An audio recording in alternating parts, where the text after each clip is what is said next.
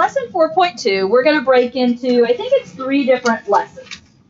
So you'll have homework each day. I think for the most part, pretty much get through each lesson. So we're going to be looking at each of these. Now, as we talk about trig functions, this is basically just a geometry view of our trig functions, what they each mean, how we work with them, how they relate to the right triangle. So we've got to review this today and know it. Now, this was a Miss Byers thing, the great Indian chief, SOHCAHTOA. What's SOHCAHTOA mean? Okay. Wait, no, you split it into three, don't? Their sign. And what does that sign, SOH, mean? Opposite what? Okay. So in other words, sine is opposite over hypotenuse. One of the few times you'll see me write the words all the way out. The first time we do it in notes. Okay? So sine is opposite over hypotenuse. That's from the so in SOHCAHTOA. Next part. The SOHCA. Okay, cosine is adjacent over hypotenuse.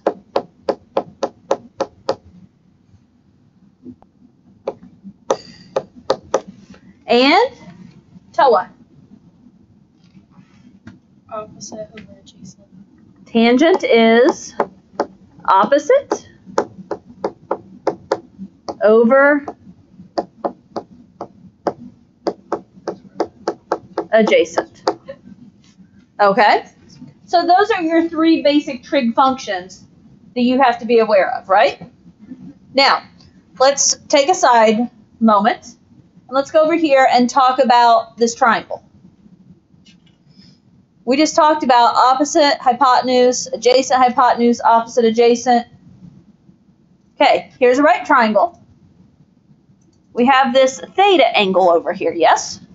What do you know about these sides? What's what? Uh, Okay, so we're getting the easy one out of the way. The hypotenuse, yes? Even before you lear- learned trig functions in geometry, you've been talking about the hypotenuse since middle school when you first learned the Pythagorean theorem, right? With Mr. Okay, so hypotenuse is the angled side. I describe it as the side that is opposite the right angle. It does not touch the right angle. It's the angled side. But depending on how you draw your triangle, you can't really go by that. Okay, what else do we know? The opposite. No, the opposite. So this is our ref- this is our angle of reference. So when we talk about whatever our angle is, in this case we're talking about the angle being here, the opposite side is the one that is opposite. So it's across the triangle from it. So something that is opposite is the side that does not touch the angle in question.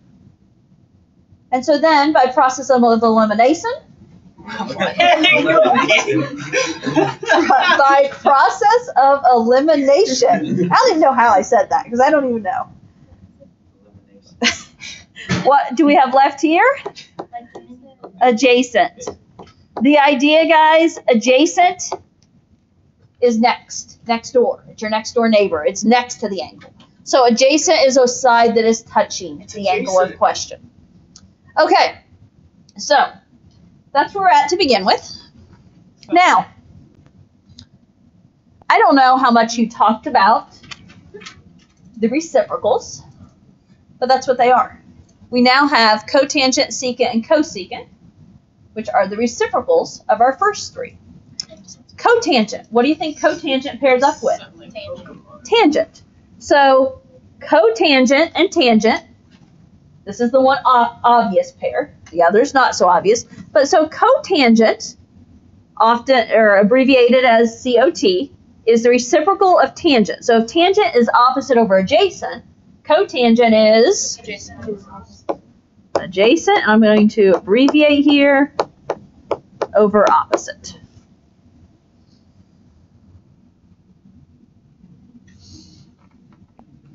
Now, now it gets less obvious. Okay, you have to mix and match here. Secant is the reciprocal of cosine. So, if cosine is adjacent over hypotenuse, secant is hypotenuse over adjacent. And then that means in the end, what about cosecant? It is the reciprocal of sine. So if sine is opposite over hypotenuse, cosecant is Opposite. Or, opposite. hypotenuse over opposite. Okay, guys. Now, my opinion is, if you know SOHCAHTOA, which should be coming back to you pretty easily, right? Then, if you know SOHCAHTOA, then you just have to know the reciprocals. Cotangent pairs up with tangent. And then what I always look at is the tangent and cotangent are the opposite because they're both tangent. The others are opposite, okay? Secant pairs up with C. The S and C pair up, and the C and S pair up. So secant pairs up with cosine, cosecant pairs up with sine. Or you're not matching, I mean, I guess the key is don't try and match cosecant with cosine. Okay? So I always just think it's the opposites, the S and the C. I know sine and cosine are part, part of the original batch. I know secant and cosecant are part of my reciprocal batch. So I mix up the letters. Okay? There's an acronym. It's KO Shutro. Yeah, I'm going with mine. Okay, That's crazy. now, example one. Use the following triangle to determine the six trig functions of the angle theta. So this one problem is going to have six answers. Now, it's one problem. Six answers all connect here. Okay, what do we know here? Uh, you have to find the hypotenuse first. Okay, we have to find the hypotenuse. We're missing the hypotenuse, aren't we? How do we find the hypotenuse? Ah, can we use our Pythagorean theorem? A squared plus B squared equals C squared. So, what do we have?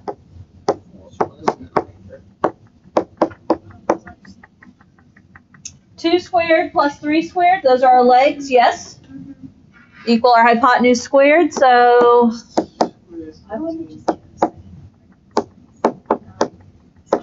I wouldn't just get a you're not doing anything with this. You're fine.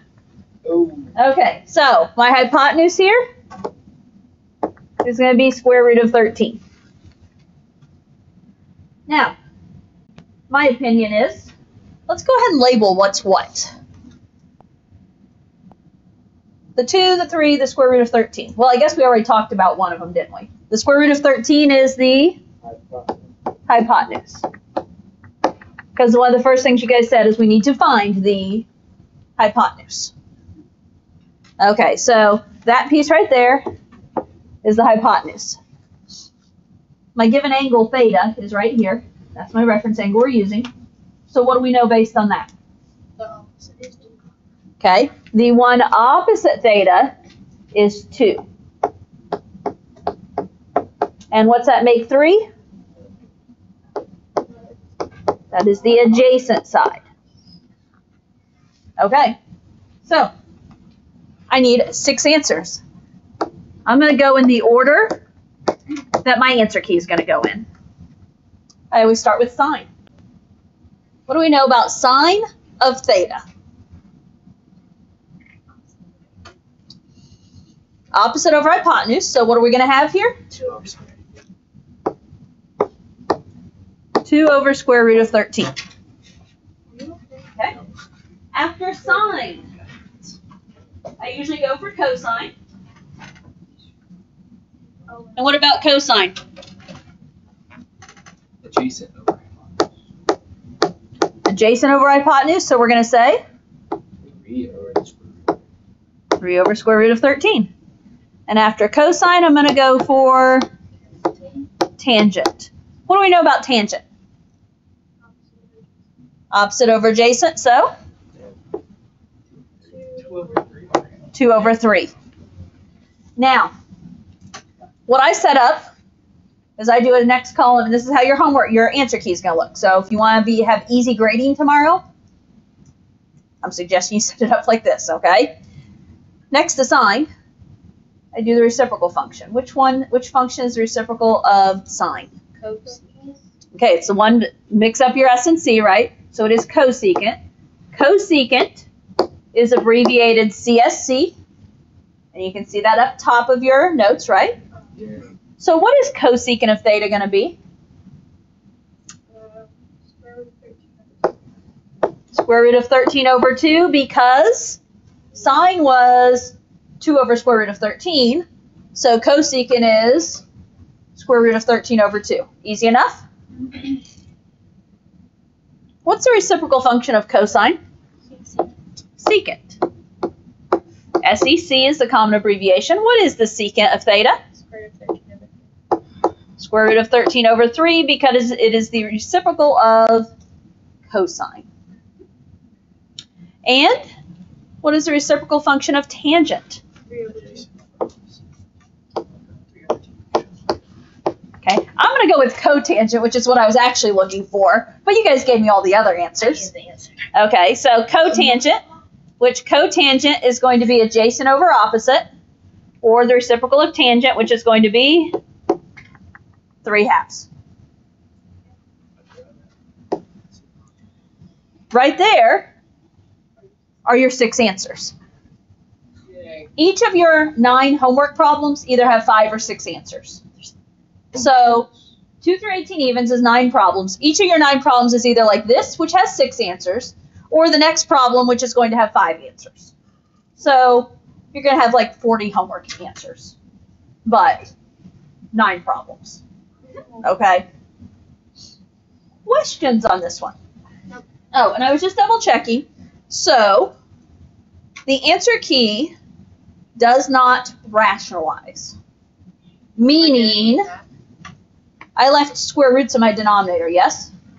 And the answer key did not do that, or did not change that.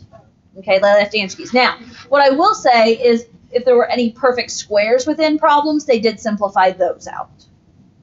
Okay, and I don't know that we'll have that pop up, but it does pop up in homework a little bit. So watch out for perfect squares. You know, for instance, if you get square root of 24, what do you know about square root of 24? Um, Six and four. 6 and 4. The square root of 4 is Two. 2, so 2 Square root of square root of 6. The answer key does do that kind of stuff, okay? But it does not rationalize. So pros and cons. Okay, first example easy enough? Yep. Yep. Okay. Assuming that theta is an acute angle in a right triangle, find the remaining trig functions given that cosine of theta is 5 sevenths. So, we want the remaining trig functions. How many did they give me? Two. One. One. So how many do I need to find? Five. Thus, every homework problem has five or six answers. Now, what does cosine tell me? Okay. It tells me adjacent over hypotenuse. Now, I'm a picture type of girl. So I'm going to draw a picture. Now, the only thing that matters about the picture has to be a right triangle and and acute. So both angles are going to be acute. Okay? Actually, you couldn't even have, I don't even know why they say you can't have a right triangle with an acute or with an obtuse angle. So. It's not possible because if 90 degrees is part of your right angle, the other two angles have to add to be 90. So it's not possible. Yeah, it can't be obtuse. Anyways, okay. Pick theta to be one of these two angles. I'm going to pick theta there.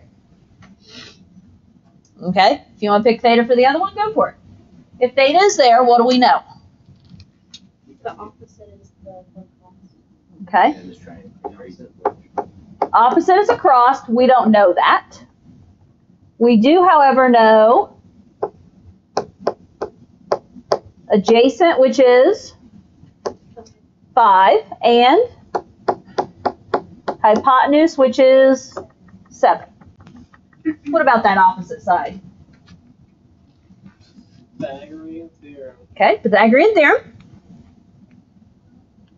What are you doing in this Pythagorean theorem? Forty-nine. Equals. A squared plus twenty-five equals Each to each of us our own, right? Because we're all doing it differently. So some variation using a squared plus b squared equals c squared. So a squared plus 5 squared equals 7 squared. So 49 minus 25, which is 24. So a is square root of 24. Which is two square root of six. When I gave that example earlier, I totally forgot this was the next problem. I really did. So for A, we want to talk to square root of 6.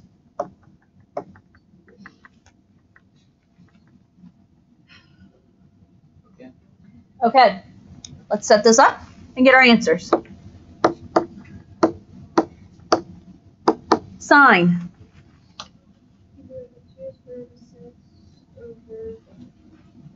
Okay. 2 square root of 6 over seven. 7. Because it's opposite over hypotenuse. What comes after sine in my list? Tan. There- Okay. You guys Cosine, skipped. Okay. You guys skipped cosine. Understandable. Now, what I'm going to do is I'm setting this up the same as I set up up above. I'm just leaving the cosine area blank and putting tangent down here. Like, I'm just, this is what your answer key is going to look like tomorrow. So if it makes grading easier to do it the way I have it set up. So tangent, opposite over adjacent, so 2 square root of 6 over 5. What's the top of this column over here? Cotangent. CS. Cosecant Cosecant. is the reciprocal of sine. And what's my reciprocal of sine going to be? Seven over two squared. 7 over 2 square root of 6. What am I going to put below cosecant? Secant is the reciprocal of cosine. So if cosine was 5 over 7, secant is Seventy-five. 7 over 5. The reciprocal of tangent is cotangent, which is Five over two square root of six. 5 over 2 square root of 6. And there are your five answers. Okay? Your homework is page 328.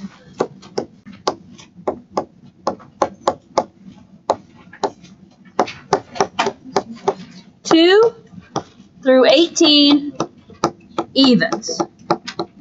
Unless you feel like doing two through 18 all. No, no. Okay? Now, as I said, every problem's going to have five to six answers. Practice, know what you're doing, okay? Okay.